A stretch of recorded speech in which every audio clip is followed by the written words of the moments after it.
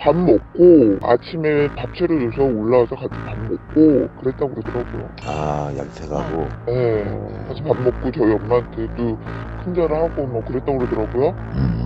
아 결혼했던 검사가 양재택이 당시에도 검사였잖아요. 네. 그리고 그 당시에 최원순이 굉장히 여러 가지 법적 소송에 휘말려 있었어. 음. 그러면 우리는 의심할 수밖에 없어요. 양재택이 뭔가 도움을 주지 않았을까? 네. 그걸 감추고 싶은 게 아닌가 의심스러워요.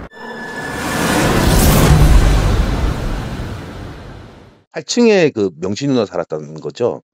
2층. 2층에 살고 누나네가 8층 살았다는 거죠. 음. 정대택 아저씨가 얘- 얘기했던 내용 중에 양재택하고 사귈 때 밥 먹으러 이제 그건 맞대요.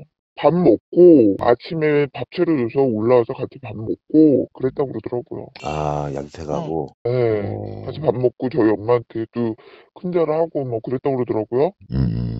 한때 김건의 남자로 알려진 양재택이 나옵니다. 검사 출신이죠. 아 결혼했던 검사가 그 미혼인 여자 집에 가서 아. 친척 8층 가서 밥을 먹었다는 거 아닙니까? 음. 그게 정상적인 관계입니까 그게? 아니, 저분이 직접 받자는 거 아니에요? 부모님이 그 그분 친척 A 씨 어머님의 밥 차려줬다는 거 아니에요? 그렇죠. 그렇죠. 절도 하고 그러니까요. 그랬다는 얘기 아닙니다. 예.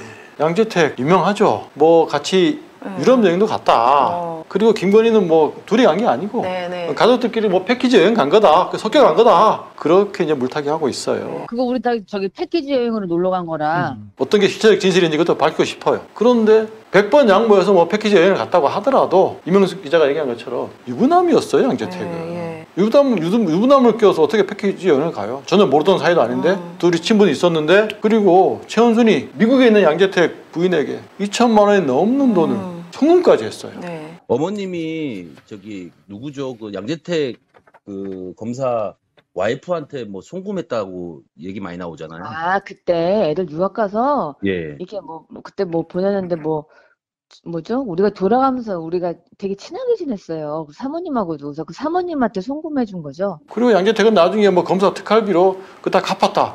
이런 얘기까지 나오는 자입니다. 그러면 그러면 합리적 의심을 할 수밖에 없죠. 네. 둘이 사귄 게 아니냐 이런 생각이 들어요. 아니 뭐 그럼 2천만 원 또 보냈다는 이건 증거가 있는 거잖아요. 부인에게 줬다는 거. 그렇죠. 예, 최은순이가 보냈어. 아니 예.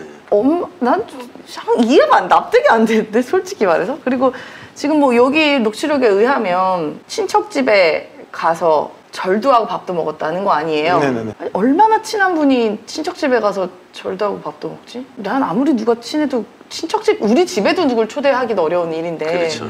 친척 집까지 갔다? 그리고 제가 이상한 건지 이해가 안 됩니다 저는. 그러니까 김건희가 두 사람 사귀었다는 의혹에 대해서 계속 부인하는 이유는 양재택이 당시에도 검사였잖아요. 네. 그리고 그 당시에 최원순이 굉장히 여러 가지 법적 소송에 휘말려 있었어. 음, 그러면 우리는 의심할 수밖에 없어요. 양재택이 네. 뭔가 도움을 주지 않았을까? 네. 그걸 감추고 싶은 게 아닌가 의심스러워요.